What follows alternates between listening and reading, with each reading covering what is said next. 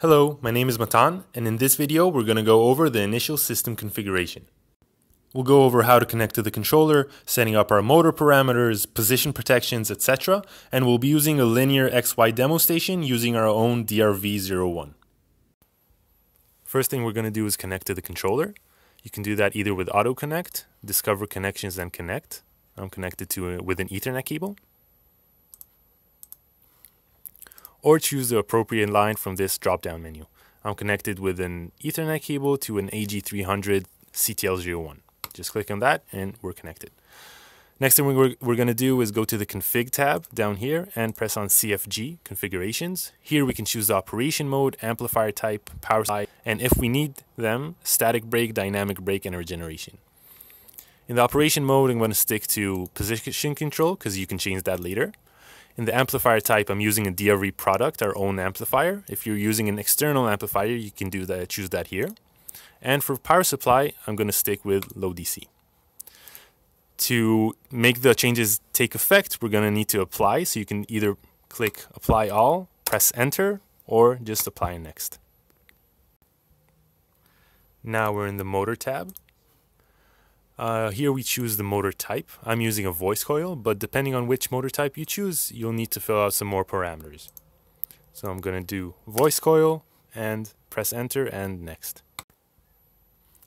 Now we're in the feedback tab. Here we choose the encoder type. So I'm using an incremental encoder with an A quad to B output. You can also change the resolution if we choose if you want to invert direction or not. And if you're not sure about a certain parameter, you can always put your cursor over the tab and a tooltip will show up with an explanation. Apply next. Now we're in the position tab. Here you define all the position, velocity, and also acceleration protections.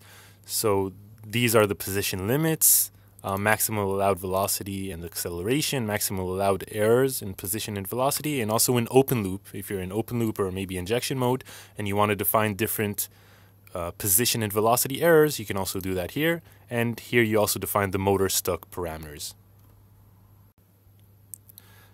Now we're going to go to the power protections. Here you define your continuous uh, current, your peak current, maximum allowed motor current, etc. And also your bus voltage protections. You can always, like I said before, check the tooltip to see to find out exactly what that means, and also PWM limitations apply and next. Now we're in the discrete configuration tab. And here we define all the discrete inputs and outputs. Let's take, for example, the first discrete input. We can also reverse the logic, enter to apply. And we have all of these modes. These modes are detailed in the help tab in documents. All you have to do is search for the keyword DIN mode and there you'll find all the details for all of these modes. And we can also decide which axis this applies to.